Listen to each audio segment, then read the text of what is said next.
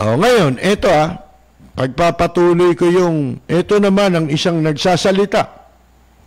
Hindi ko alam kung kailan ito, hindi ko na matandaan eh. Naging kalihim ng DICT. Dati. Ah, si Rodolfo Salalima. Ang sabi niya, ah, walang bisa yung cease and desist order ha, laban sa ABS-CBN from the beginning. Void. Ab initio. Ngayon eh kung ang sinasabi nito mga kaibigan ay void from the beginning eh ano ba yung alam na batas lagi ni Kalida? Ha? Kowaranto. Yan. Dapat ang ikowaranto ngayon. Ito si si Kwan eh, si Kalida eh. Ha? Mga kaibigan, kung siya nasa likod nung kung totoo yung balita, ha? Na siya behind Oh. Mga kaibigan. Ano sabi nito si Rodolfo Salalima, dating kalihim ng DICT? Itong DICT, under niya lang attached agency, itong NTC attached agency ng DICT, Department o National, uh, ano to? Uh, Department of Information and Communications. Nasa ilalim nito ang NTC. Oh. Sabi niya, uh, nawala ng karapatan ng ABS-CBN ng kanilang karapatan sa saligang batas to procedural due process. Yung terminong procedural due process, katumbas yun ng due process of law. Yun din yung terminology ginamit ni Reynato Puno. Mag-identical yung kanilang opinion, mga kaibigan. Ha? Uh, nung daw ipalabas yung cease and desist order, ha? nabaliwala ang karapatan sa ilalim ng saligang batas. Oh, noong May 5, ito nga naman eh, ah, ah, si Salalima ho, abogado rin. Kaya, ang sabi niya, yun daw NTC's cease and desist order is void ab initio. Sa simula't simula, walang bisa yun. Ha? Or void. Ang ibig sabihin ng void ab initio, void from the beginning. Sa simula pa lang, walang bisa. And has no force of the law. Walang kapangyarihan yung naba, sa batas eh. Yung cease and desist order daw ng NTC. The CDO is illegal. Oh, labag pa eh. Sa batas eh. And void because bakit daw labag? Ito sabi niya, because it was issued without ABS-CBN being heard. Katulad nung sinabi rin ni Justice Puno na pro Duterte. Mga kaibigan, hindi pinakinggan muna yung kanilang panig sa legal issue tungkol sa congressional franchise in violation of that company's constitutional right to procedural due process of law. Kita niyo? Was there a complaint at all? Meron ba reklamo? Yan ang tanong ni Salalima eh. Kung meron daw bang petisyon or complaint, reklamo, laban sa pagpapatuloy ng operasyon o, kita na ninyo ang mga legal, dito na papasok ang mga pagtatalo eh. Ha? was any petition or complaint against the continued operation of the network due to its franchise expiry. If the petition was filed before May 5 or a day after the network's franchise lapses, kasi hanggang May 5, di ba, ang kanilang franchise, uh, it would be premature and had no cause of action. Ang sabi, ito tatagalogin kayo, kung ang petisyon, meron ba petisyon? Ibig sabihin, wala namang nagpetisyon eh sa NTC, dumulog sa NTC. Ha?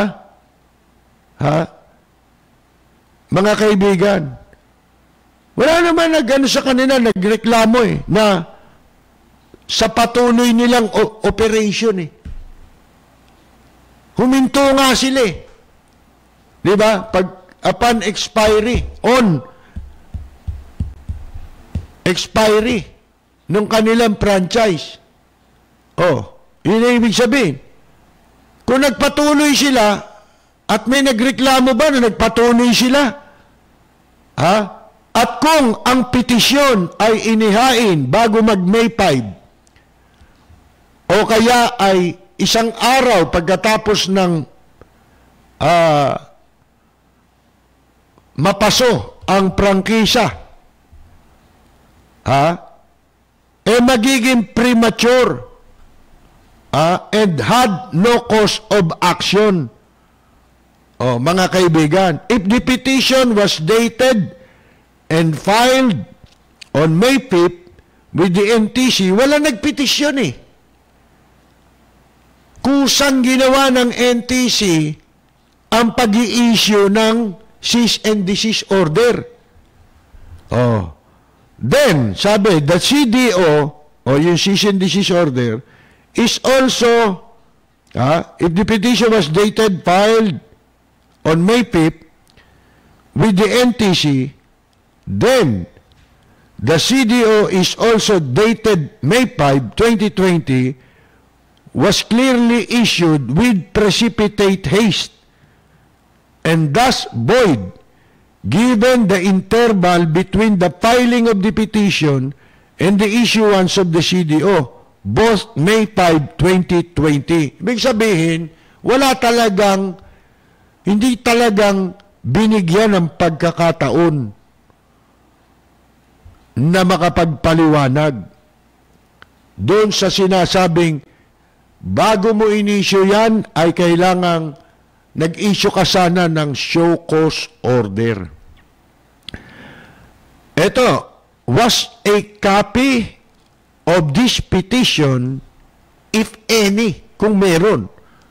Yun daw bang kopya ng petisyon, kung meron, na yung petition, yung uh, served on ABS-CBN for this public service company to reply para sila makasagot.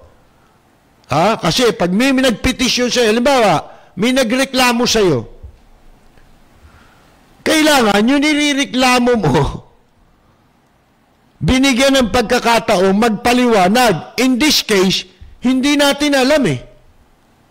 Kaya tinatanong nitong si Salalima, meron bang nagpetisyon sa NTC na nilabag ng ABS-CBN yung kanilang franchise dahil nag-expire na, nag-operate pa sila? Meron bang ganong reklamo? Ngayon kung wala, ha? Eh, wala kayong dapat na gawing aksyon. Di ba? Oh. Hindi nga sila nag-operate eh. Ba't mo i-issue yung CDO? Di ba? Bakit mo sasabing uh, cease and desist order? Eh kusa nga nilang isinara yung istasyon eh. Di ba? Nung mag-expired eh. Oh. Was there a show cause order issued by the NTC to ABS-CBN and was there hearing on the show cause order attended by the real parties interest involving before the issuance of the CDO. Yan ang sabi niya. Oh. Meron daw ba, nagkaroon daw ba, nagpalabas ba raw ng show cause order ang NTC para sa ABCBN at nagsagawa ba ng pagdinig doon sa show cause order na yon na dinaluhan ng mga interesadong partido. Ha? O, katulad nung binanggit ni Justice Puno, yun yung ABS-CBN, sila yung directly affected at yung ating Solicitor General. Oh, yan ang tanong ni Salalima eh. Dati siyang pinakamataas na opisyal ng DICT at nasa ilalim lang niya yung NTC. Oh. Sabi ni Salalima, pwede raw magpatuloy ng operasyon ng ABS-CBN. Ha? As a matter of legal right and in the interest of justice and due process. Oh, mga kaibigan, as a matter of legal right, karapatan nila yun.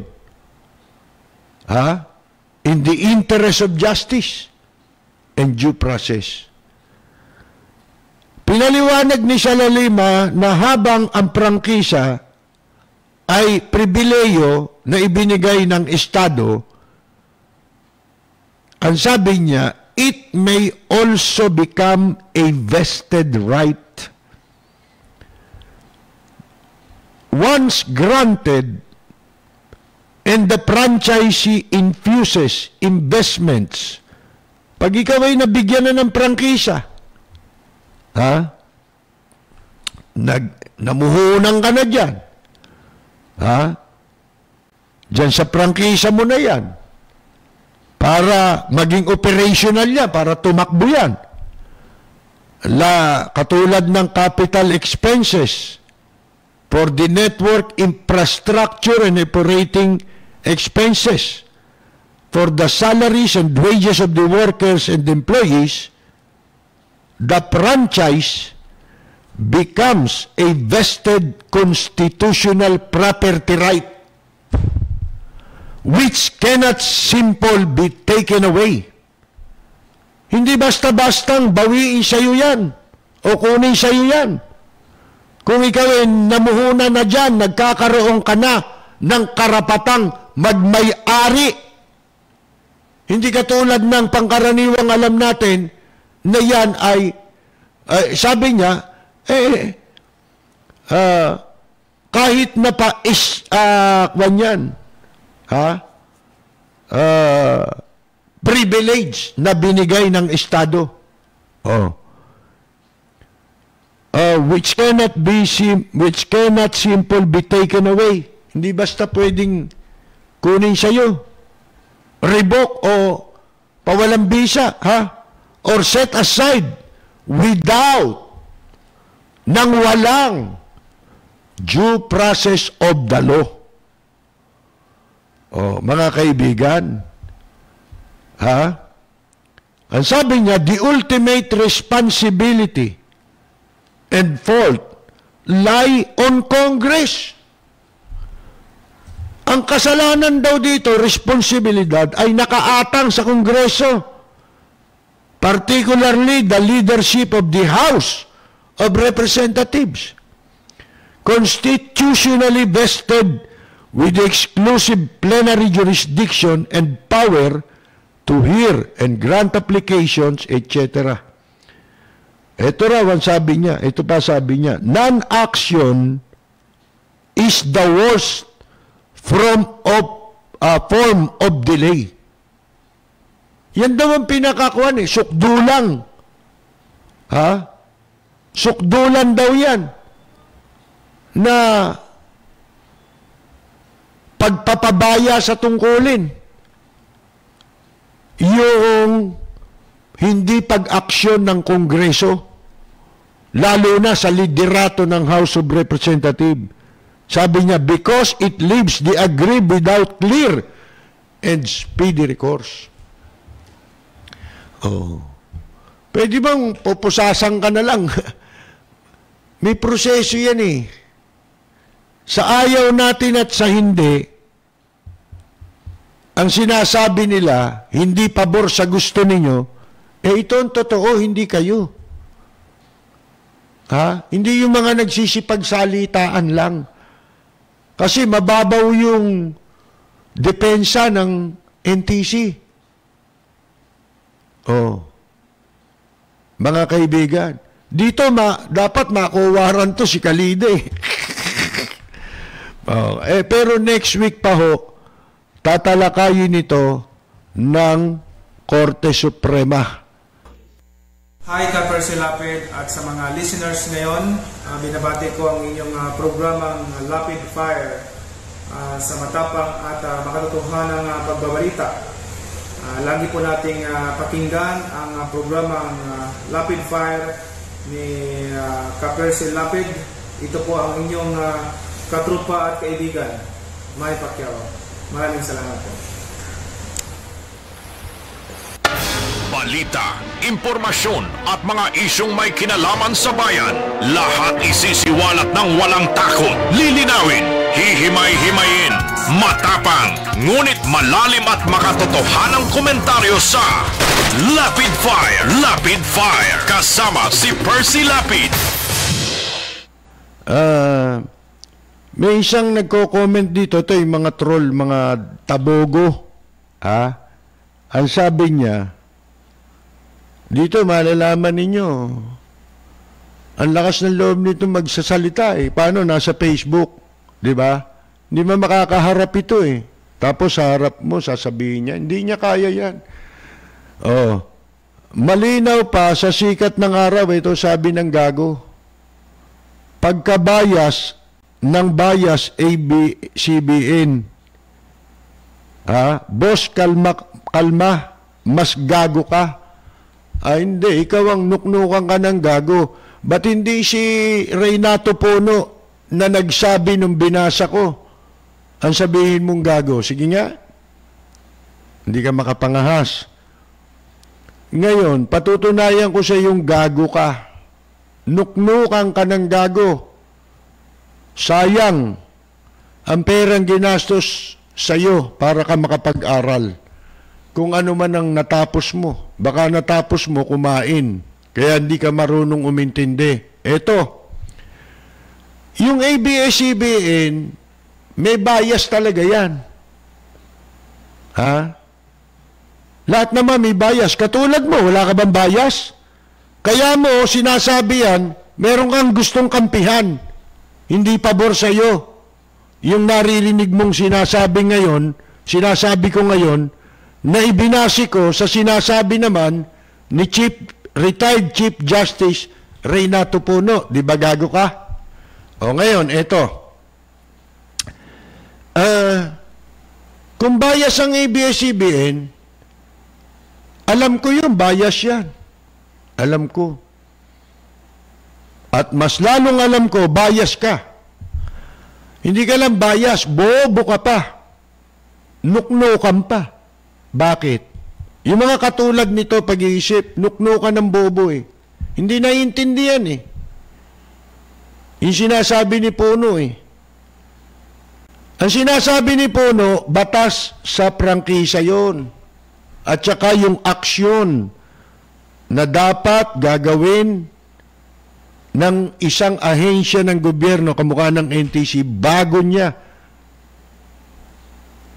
ipalabas yung cease and desist order. Ngayon, ang kagaguhan ninyo, kabubuhan ninyo, puro kayo bias ng bias sa ABCB. May kaso bang bias? Gago! Wala sa batas na yung bias ka, eh, apektado o minilabag kang probisyon sa batas tungkol sa prangkisa. Walang batas na ganong gago. Tabogo. Yung bias, lahat ng tao may bias, karamihan. Di ba? Karamihan yan, may bias. O di, natuto ka ngayon, bobo. Di ba? Ngayon, bakit ho merong mga umaangkas sa issue? Nahaluan eh. Yung issue ng ABS-CBN, tinanong yung mga opinion ng gago. Bias daw ang ABS-CBN. Ay, hindi kasama sa pinag-uusapang kaso yun. Yung bias, walang taong bihira na ngayon ng taong walang bias. Mga kaibigan. Baka yung bias, di nila ibig, alam ang ibig sabihin, yung mga nagsasalita eh. Di ba? Oh, anong kaso meron yun? Ano may, may kaugnayan ba yung bias dun sa prangkisa? Ang pinag-uusapan, franchise law, mga kaibigan. Ah? Eh, merong mga merong mga tao may hinanakit personal or otherwise laban sa ABS-CBN. Ngayon, yung kanilang mga hinanakit, isinasabay nila dito sa issue. Kaya kala ng mga gago, tama yung ginagawa nila. Pag narinig nila na meron ganon. Halimbawa, natanggal ka sa ABS-CBN, dati ka nandyan, eh, meron kayong karapatan para idulog yan ang kaso niyan, eh, labor. Labor case yan. Hindi ba? Hindi yan franchise. Hindi kaso ng franchise yan. Kung merong tinanggal, illegal, ang ABS-CBN, that is another story. Hindi kasama yun dito sa sinasabing cease and desist order na ang issue laban sa ABS-CBN ay franchise law violation.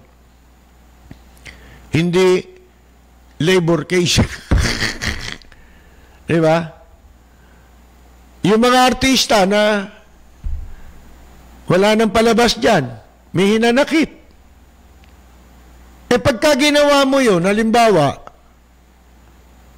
sa lahat ng bagay ba, pwede mong gawin yun. Ba, ang kaso, pag nanakaw, ha? Tapos, yung pinagbibintangan mong magnanakaw, sasabihin mo, may kabit. Ang anak ay ganito. Ang asawa ay ganito. Ay, hindi issue yun. Ba't ka pupunta ron? Di ba? Yun ang mga hindi alam ng tabogo. Hindi ganun ang issue. Pupunta ka, marami anyang kasalanan yan. Eh, ba't di kayo nagreklamo? Di ba? Oh, meron pang mga sexual harassment dyan eh. Asan yung complainant? Eh, nagsasabi, kung ang magsasabi, may hinanakit sa ABS-CBN dahil natanggal siya ron, eh, wala kang credibility. Sayang. pagkukunwari Hindi-hindi padagay Sadyang kilala sa daigdig May pagkakaisa sa bawat nais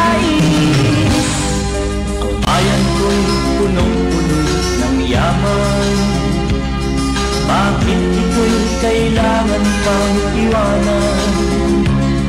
Hindi nga ba't anong sarap Mabuhay ng buong ganap Sa bayan mo, sumabit man yaong wakas. Dito sa bayan ko. Magandang Yumaga Attorney Kalida. Punong-puno ng yaman Bakit ito'y kailangan pang iwanan? Hindi nga ba't anong sarap?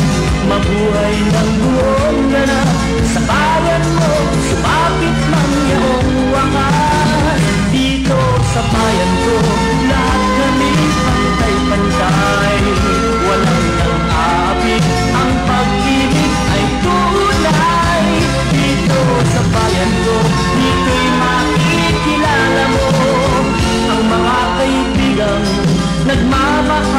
sa'yo. Dito sa bayan ko Lahat kami pantay-pantay Walang nang aapit Ang pag-ibig ay tunay. Dito sa bayan ko Dito'y makikilala mo. Ang isang kaibigan Ang mga kaibigan Ang bawat kaibigan na